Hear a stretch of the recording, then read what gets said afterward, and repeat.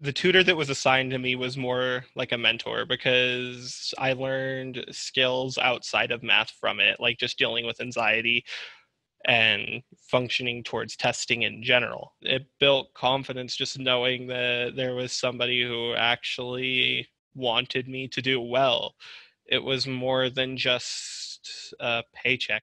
Knowing that somebody genuinely cares who is tutoring me, that's amazing to know the first exam that I had taken after signing up with Varsity Tutors, my score had doubled. I after I'd already turned the test in, I felt really happy.